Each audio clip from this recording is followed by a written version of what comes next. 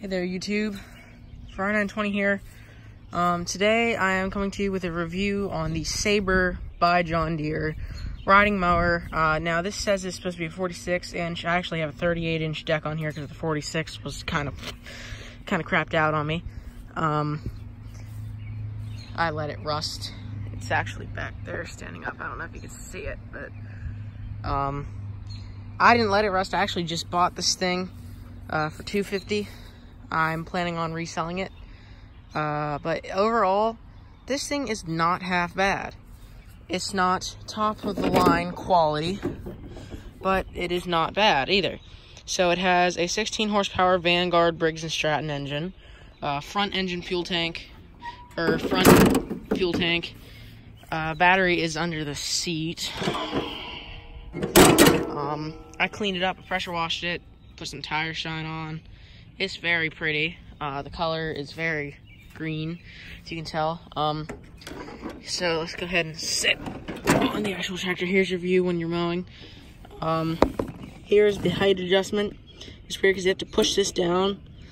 This is the one thing I don't like is the height adjustment because you push that down. And it's really iffy at times. So there, that's low.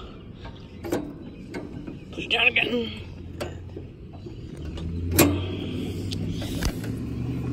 Yeah, okay. Push it down again. Pull it up. Okay, let me put the phone down a second. Yeah. So you can tell that's kind of a pain in the butt. That's one thing I don't like about this. Uh, here's your parking brakes. You can press the pedal the whole way down. Go ahead and slide that over and into park. Um, your key is back here. Here's forward, neutral, reverse. So they're shifting it. It's a shift. It's a hydro mower. Um, so it is pretty nice when it comes to that. Uh, but yeah, without further ado, why don't we go ahead and get it to start up? So to push down, you have to push down the pedal. Sometimes pull back the PTO lever, and starts right up every time.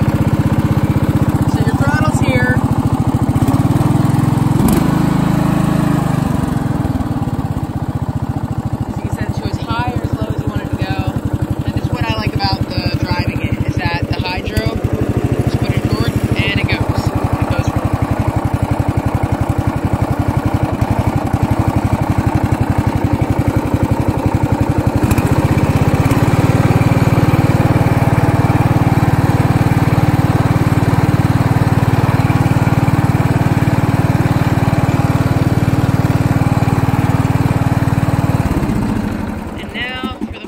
And that is actually mowing with it.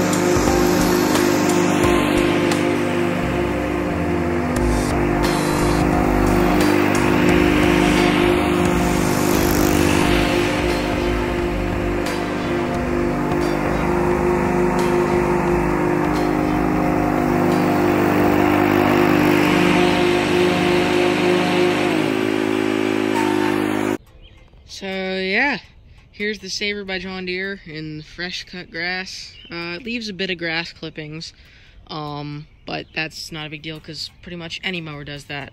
Um, I do not believe these things are actually for sale anymore, um, unless you were to buy them used.